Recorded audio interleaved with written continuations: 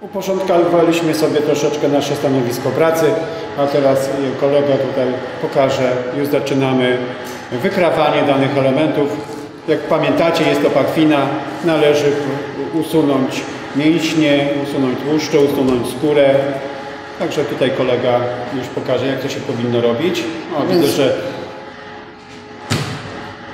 usunął resztkę sadła, a teraz usuwa mięśnie poprzerastane tłuszczem.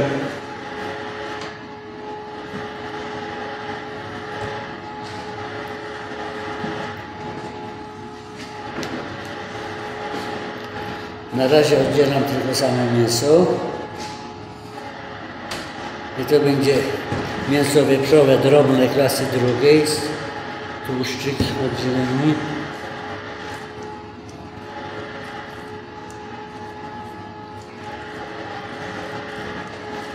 I tu się same mięśnie oddzielają. Bardzo ładnie Ci to. Ja bym tak, ja bym tak nie umiał, wiesz, Ja muszę Ci powiedzieć, że... zestresowany. A Ty nie mów, że jesteś zestresowany, bo Ty masz niestresujący głos. Do dwójeczki. Tutaj wytniemy tłuszczyk, żeby za dużo nie było. Tak, to jeśli dobrze pamiętam, ten mięsień to chyba się nazywa y, napinacz powięzi szerokiej, ale tu mogę się coś mylić, także gdyby ktoś mógł, to może mnie poprawić. Występujący z tej strony od szynki.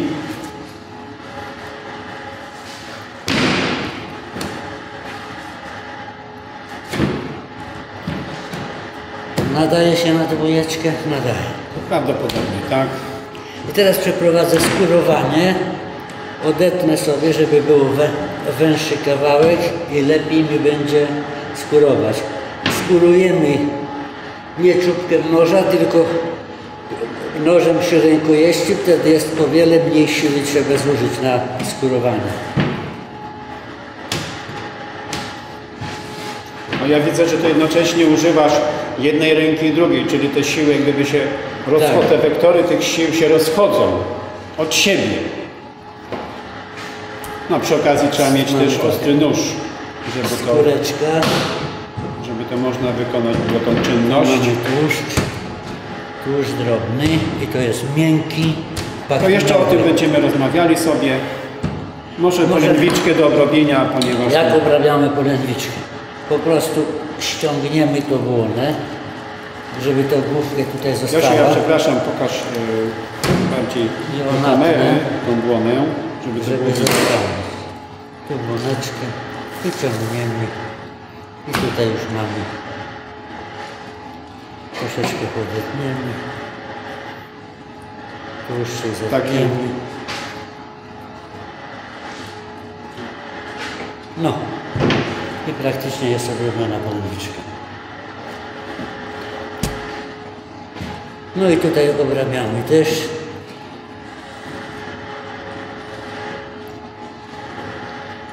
To co dłuższe i mniej ściemniste, tak? To będzie zaliczone do klasy drugiej. To już chyba te kawałki, które tu są, niby tu- to jest tu- tłuszcz, ale tu są gruczoły.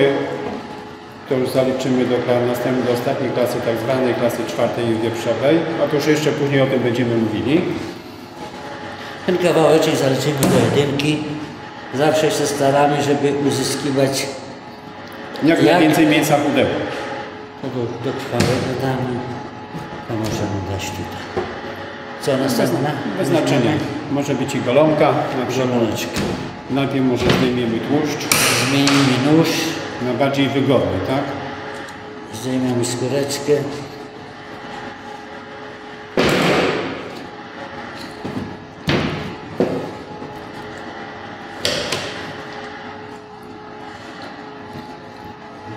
Zostały kawałeczek.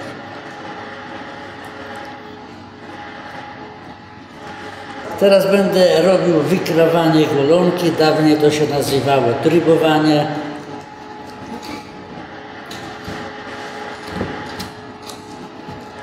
E, O wiele lepiej jest. Jak... Gdy ona jest przyczepiona do szynki, tak? Tak, tak. Ale to dla celów szkoleniowych musieliśmy ją oddzielić, żeby można było pokazać. Jak odciąć golonkę. Tutaj będziemy mieli kość strzałkową. Ja ją natnę. I tutaj, I ją rozerwiesz. W sensie tutaj przedstawię, tutaj. no właśnie, Wtedy była będę mała. mógł sobie dokładnie mięsko usunąć z kości. Chciałem jeszcze powiedzieć, o ile trybujemy to dla swoich potrzeb, a kości będą używane do zupy, nie musimy tak dokładnie tych kosteczek trybować. Możemy troszkę mięsa zostawić. No, żeby później sobie ze smakiem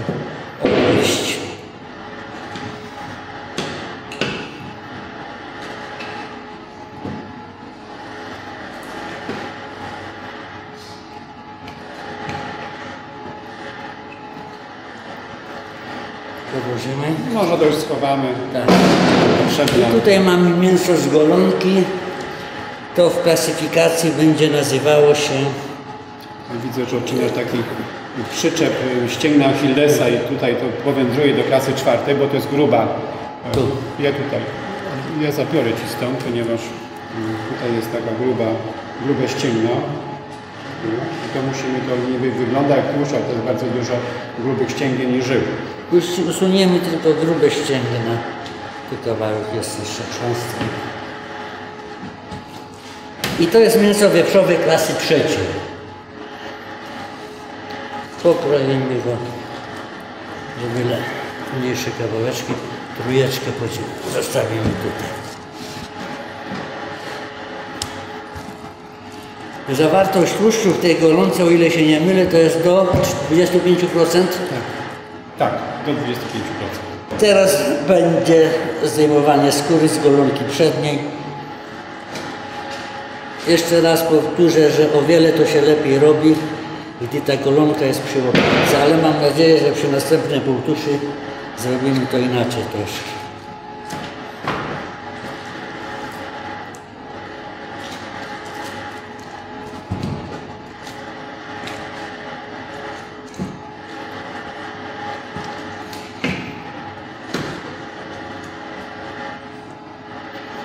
Tutaj jest troszkę łatwiej, bo nie mamy kości strzałkowych, to tylko oddzielimy prostymi ruchami mięsa.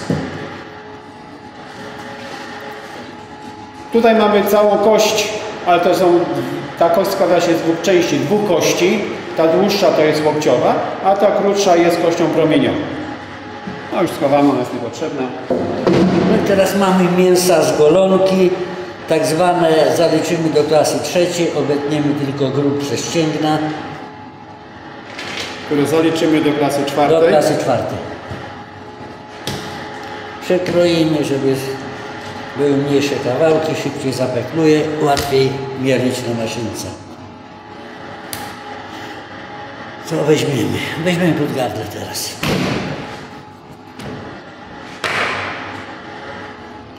Usuniemy mięsa krwawe, które zaliczymy do klasy czwartej. Ja usunę to wraz z gruczołami. Panie Andrzeju, jak Bardzo gruczołki, proszę. gruczołki się nazywały te?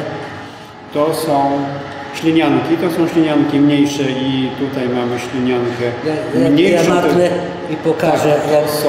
I to jest te małe, takie O, o. drobne, siwe czy szare, To są- beżowe, te małe kawałeczki, to są ślinianki i to zespół tych ślinianek nazywa się przyłusznicą.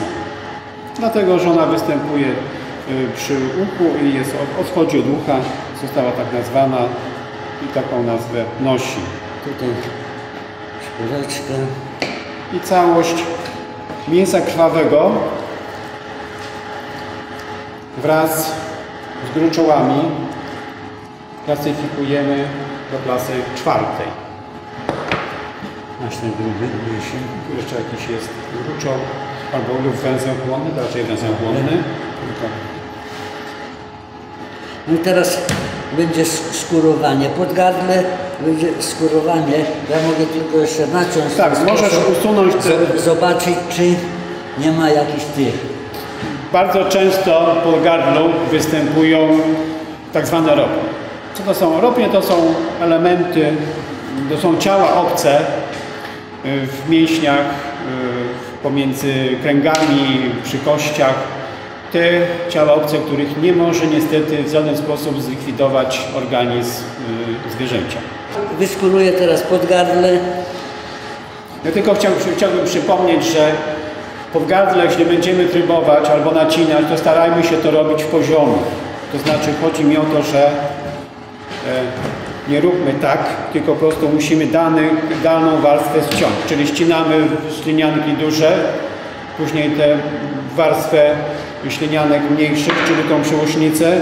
Później możemy zacząć ścinać ten mięsień, tutaj tak zwany równoboczny, czworoboczny, przepraszam. Ja go po prostu sobie tylko natnę i sprawdzę, bo jako element to pójdzie jako mięso wieprzowe klasy drugiej całość, bo te podgardle jest dosyć chude, Tak, mało to tłuszczu. mało tłuszczu, Dlatego nie musimy.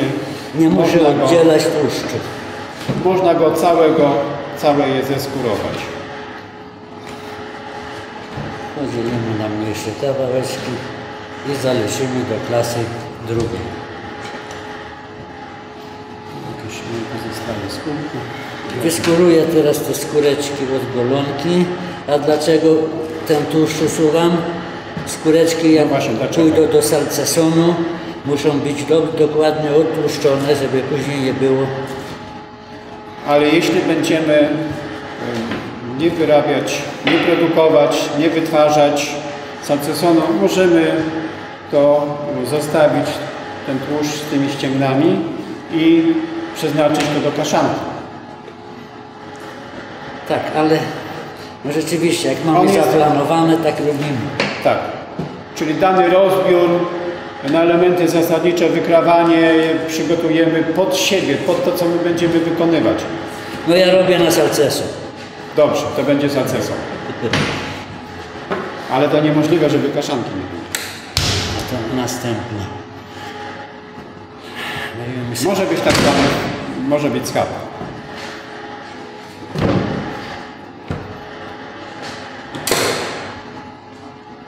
Teraz mam przed sobą schab, po prostu schab. Takie jest stare na, nazewnictwo. Dzisiaj to się nazywa schab z kością.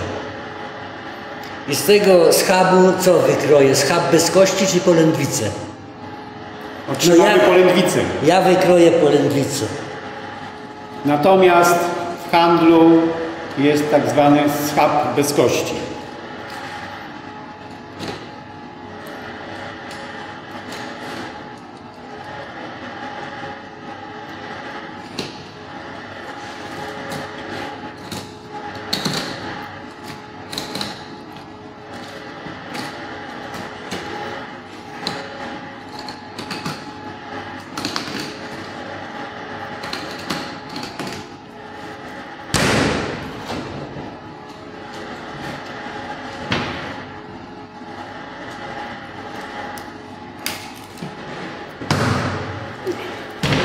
Otrzymałem polędwicę.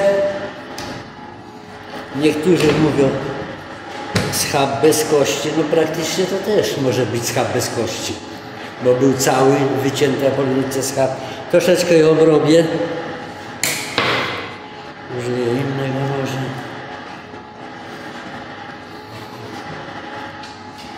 Widzę, że obciąłeś taki drugi wartość, wartość tak To, zwany. to, to taki maleńki tutaj Tak, ale jest. to ja tak dla przypomnienia chciałem, ja przepraszam Cię na chwilę, e, że obecnie bardzo często można kupić schab bez kości z dwoma warkoczami. E, ten pierwszy warkocz, ten zespół tych mięśni tutaj, które są tak na ukos, i to się nazywa warkoczem.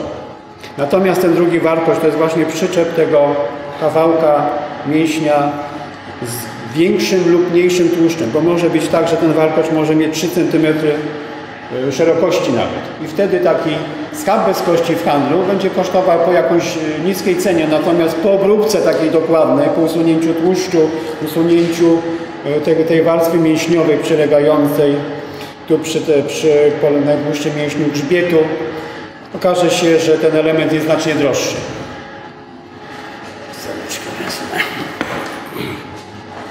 To jest stalka tak zwana klicz-lak.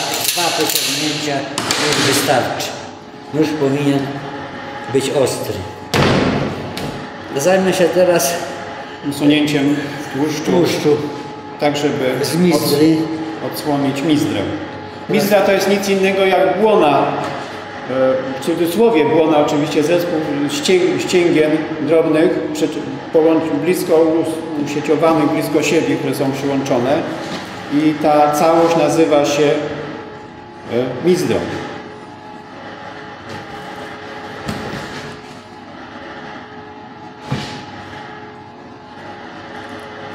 Często ta błona nam się uszkodzi, o ile to będzie, nie będziemy dobrze naciągać i będzie z- zwiotkie, kroimy, po, pokroimy.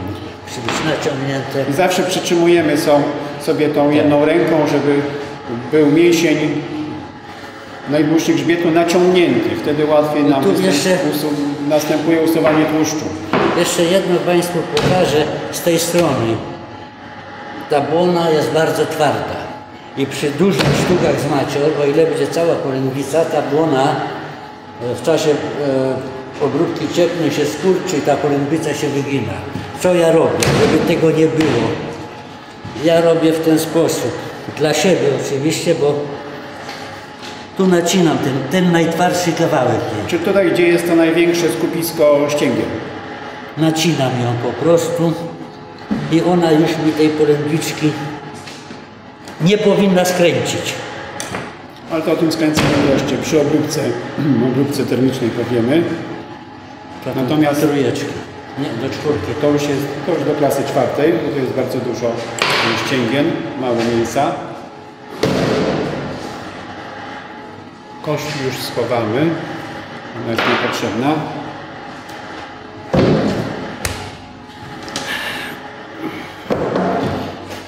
Karkówka, wydawanie karkówki.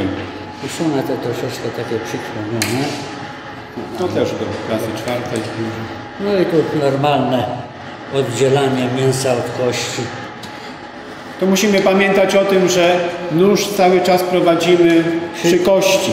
Tak, żeby się śliskał po kościach. Cały czas musimy czuć, że on jest przy kości i No są pewne wyjątki, że prowadzimy go dalej, o ile chcemy, żeby było bardzo dużo mięsa na kości. A takie życzenia się zdarzają.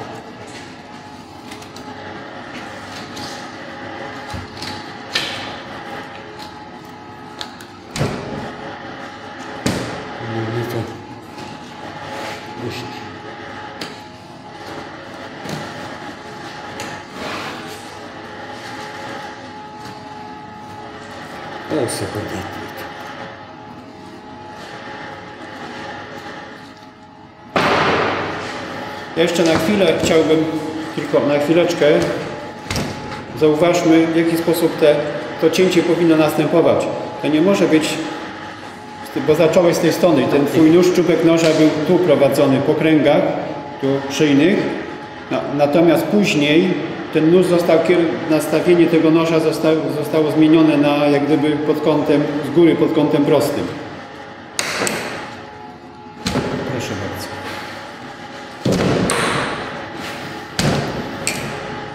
Mamy karkówka.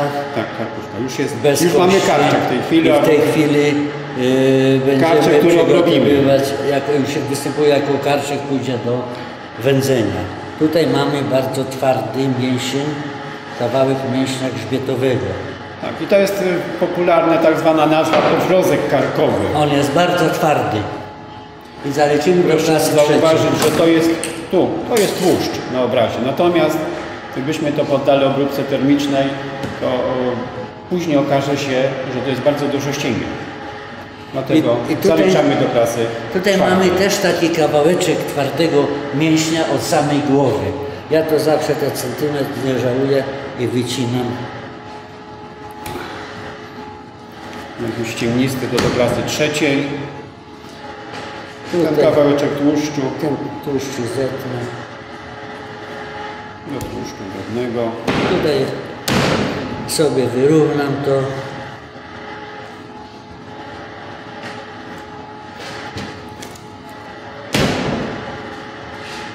Tutaj też wyrównam troszeczkę, żeby to ładnie wyglądało.